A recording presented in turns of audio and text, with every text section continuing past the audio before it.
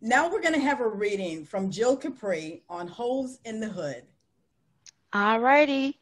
I am author Jill Shawntaye Kapri, and this is my book, Hoes in the Hood. First chapter is Treasure. 20 year old Treasure sat in the hospital bed as Dr. Peters walked into the room. Congratulations, Miss Brown, you're pregnant. What? Treasure became offensive quick. He chuckled while reading her chart, then stated, You're about 13 weeks long.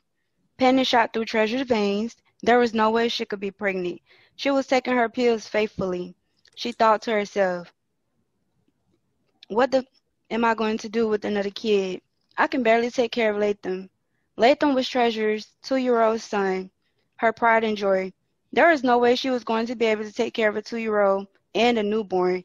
She laid there trying to come up with the best solution for her problem. But not only was the baby a problem, Treasure had no clue of who the father of her baby could be. As she got dressed and gathered her things, she could hear voices outside of the room door. I bet you my last five dollars. Her ass is pregnant. Her aunt Tip said, That or she done caught a disease. Shut up. Please, you know my daughter is a you know that. Tina shot back. Everybody in the projects talks about the crap Treasure be doing. Well, you could tell everybody in the projects to kiss Treasure's behind. And how about that? Since they're always gossiping, be quiet before she hears you. Treasure, Treasure grabbed her discharge papers, then quickly opened the door before giving her mother and her aunt a chance to do so. Glaring at both of them, she excused herself passing them. Let's fucking go. Once in the car, tears fell from Treasure's eyes as she thought about the life she was living. She couldn't believe how stupid she was to end up pregnant again, and this time not even know who the daddy was. As she sat in the car, baby's father began flashing across her screen. It was her baby daddy, Jonathan, calling like always. Treasure has been on and off with Jonathan since she was about 16 years old. She didn't have time for it today, so she pressed ignore on the phone and threw it on the seat. Not even two minutes later, CJ was calling her.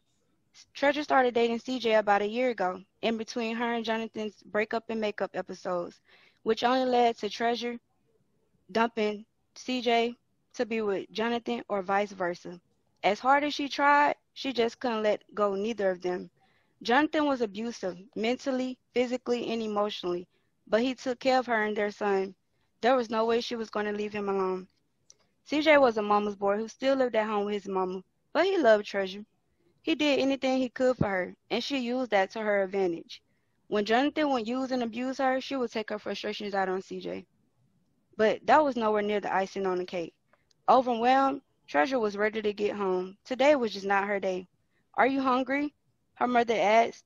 She shook her head, then mumbled, It's not like you fucking care anyways, while rolling her eyes. Where is my son? Where is Latham? Treasure asked with an attitude. Treasure Dominique Brown. Her mother hit the brakes in the middle of traffic, damn near causing a wreck. You better watch your mouth talking to me like that. You already have one kid you could barely take of. Now you're walking around with another one hanging out of your behind, and you're mad at the world for it. That's your problem. Tip yelled. What more do you want? To end up like me with HIV? Is that what you want, Treasure? Treasure smacked her lips. I'm nothing like you.